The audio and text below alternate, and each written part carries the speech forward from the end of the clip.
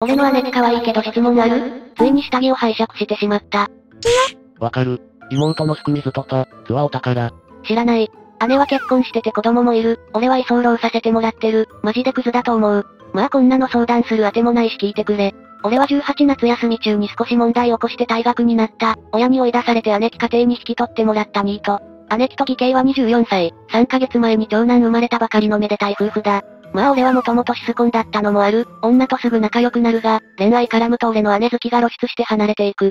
姉貴の住んでいる地域に知り合いもいないので、ここ数ヶ月ブー太郎だった。なんだ、もともとシスコンなのか。最初に変な気を起こしたのは先週。姉貴の脱ぎたてのパジャマを見つけた。姉貴は俺が色目で見てるのは若干気づいていただろう。でも一緒に買い物行くくらいには仲良かった。今でもいいけど。その時俺は不意にも、姉貴のパジャマの間、こう当たる部分の匂い嗅ぎたいと思ってしまった。その日は欲望を理性で抑えて耐えた。だが同じ風呂場を使う中だ、毎日嫌でも姉貴の脱ぎたてのパ、T とズボンが目に入る。シスコンになった理由についても、後で語ってくれるの？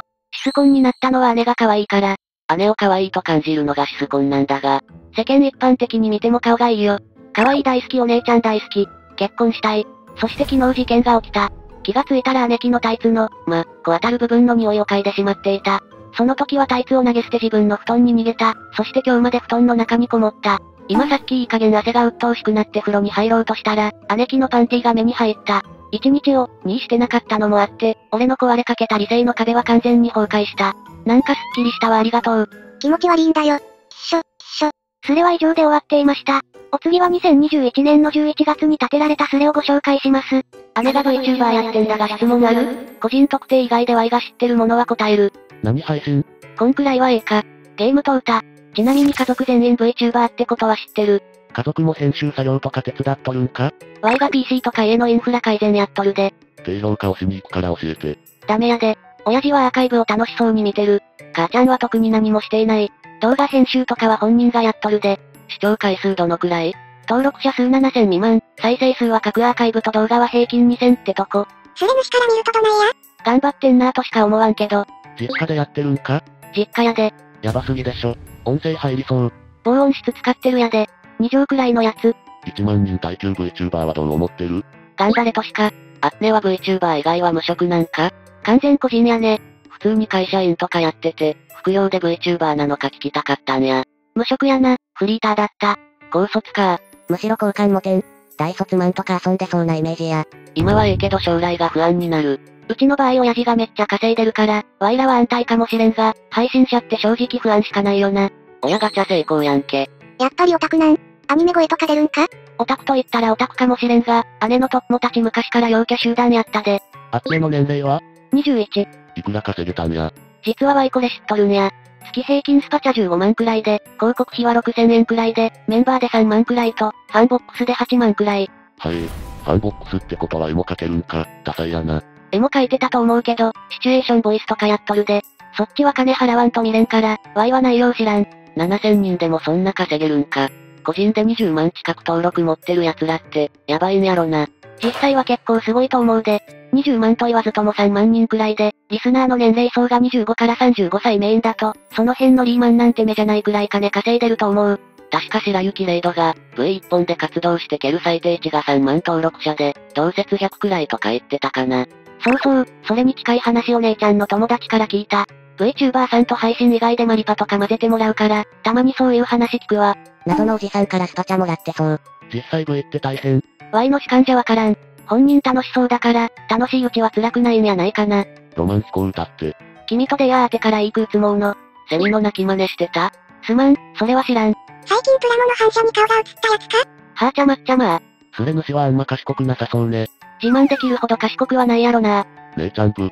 身内ひいきもあるやろうけど、見た目はいい方やと思うで。うち家族仲良好やから。陽気？ぶ、じゃあはいいやね。なんで知っとるかというと、同級生に調べてこいと言われて調べたことがあるから。スレ主高校生くらい？2個下の大学生やで。そうなんか、文体が陰キャの中学生みたいやったから、高校生かと。そりゃそうよ。一生キッズの心を忘れずに生きていきたい。キッズは忘れなくても、陰キャは忘れた方がええで。個人でそれなら、どっかの箱とアマンガスなりなんなり組めればバズるかもしれんね。個人で同程度ってかなりの数おるやで。V ポスっていうサイト見ると、同程度なんて大量におる。スレ主も VTuber やってるの？Y は無理やなそんな姉ちゃんいて羨ましいな。嫉妬心がムクムクするわ。姉ちゃんはホロライブの人の配信見て、3日くらいで自分もやりたいと言い出したんだが、多分こんな奴はうちの姉くらいのもんだろう。ASMR 配信頼むで。やってるやで。意外と多いかもしれんで。マンさんの後先考えない奴の行動力はやばい。マジで後先考えとらんかったで。そもそも当時は PC も持ってなかったし、それでスレ主がパソコン買ったんか。初期投資はほとんどが親父の財布からや。さすがに側は自分の財布から出してたみたいやけど、側は女の子なんよな。女やな。これが陽キャとワイみたいな陰キャの差やな。陰キャは実現性が後か採算が後か言ってやらんからな。とりあえずやってみるのが大事だというのに。ソースは Y。Y も VTuber の彼女や女友達がいたら、セトロニンドバドバやろな。姉ちゃんかわいい。見た目はいい方。ソースは Y の同級生たち。側の値段は全部合計したら17万くらい。PC の値段スペック、見ただけでだいたい30万くらいや。活動期間は半年経ったか経ってないかくらい。それで7000は優秀やな。まあよう喋るなぁとは思っとる。今のとこ親父が一番のファンやな。父ちゃんかわいいな。親父は2階で姉ちゃんが配信してるのを、リビングで視聴してる。ストチャ投げてそう。Google にどんだけ取られるか知ってるから、家族は投げないやで。どんぐらい？30%。ちなみに Apple から投げるとさらに22%取られるので、投げる側はお気をつけください。メンバーシップも30%取られるよ。半年で7000いくんやな。どんだけ人の目につくかってことが大事やから、運が良かった方なんじゃないの。収益化ラインに達したのが、確か初配信から2週間後くらいだったはず。Y がやったのは、PC の設置と機材設定と、姉ちゃんの部屋まで優先引っ張る作業と、Wi-Fi 環境の改善。改善といってもメッシュ張り巡らせたりした程度。親父がやったのはひたすら金を提供すること。母ちゃんがやったのはうまい飯を作ること。早くね。なんでそんなに早く収益化できたの？登録者数千人と、視聴時間賞味4000時間が条件。1000人は初日で超えてた。4000時間到達に2週間くらいかかってた。なんで初日で超えたの？何か予告とかしたり、バズる対策とかしたの？ツイッターで準備中からずっと告知。イラストレーターさんがアマチュアだけど割と有名、かっこらしい。ライブ 2D 制作者さんも告知。こんなもんしかしとらんかったな。あくまで Y が知ってる範囲だから、Y の知らんとこで頑張ってたのかもしれん。宣伝宣伝なんやな。それにしても宣伝だけで1000いくとは、すごい世界やな。これが男なら簡単にはいかないんやろな。そんな珍しいことじゃないんやないかな。初日500とか600当たり前なんやないの。最近初配信してる個人の人、大体そんくらいやで。男は除く。リスナーさんたちも優しい人多いでな。お茶とか飲料から菓子から機材まで、大量に送ってくれる。家族で美味しくいただいとるやでサンクス。住所公開しとるんか？コッパ。アマゾンの欲しいものリスト上げとくと、匿名で送ってくれるんや。なるほど、そういえばそういう機能あったな。登録者数350人はい、負けて辛い。V のものか？正直人の目につくかどうかってのが重要やと思うで。姉ちゃんとコラボした他の VTuber さんも、面白くて側もいいのに、登録者数少ないとかあるからな。V はしてない。今後セカンドチャンネルでやる。あと収入にも重点置くなら、大人に受けそうなことやったらええと思うで。これも姉ちゃんの VTuber 友達の話だが、登録者2万超えてんのに、姉ちゃんの3分の1くらいしか収入ない人もおる。キッズ2万人より、スパチャ打ってメンバーとファンボックス入ってくれる、1000人の大人の方がええで。そのキッズたちが未来の大人になるんやが、個人でやってる人って、今日の生活ができなきゃキッズが大人になるまで続けれんしな。主はシスコン。ワイは姉大好きだわ。シスコンではないな。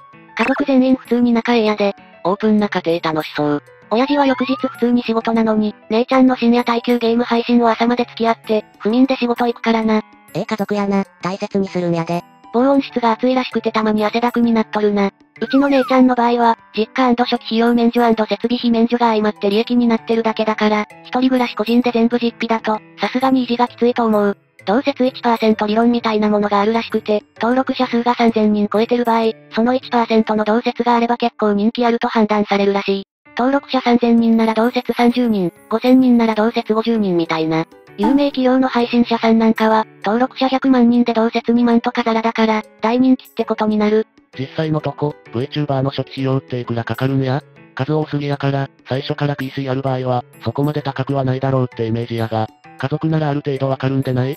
まあワイのわかる範囲しかわからんが、うちの場合、PC、30万前後、マイク、2万前後、カメラ、7万前後、キーボード、1万前後、マウス、0.5万前後、防音室、60万前後、側、17万前後、配信ソフト関連、1万前後、スイッチ、3万、PS5、5.5万、レトロフリーク、2万、こんなもんじゃないかな。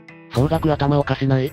うちの場合親父がスポンサーだから、特別高いだけだと思うやで。防音室が費用の大半やで。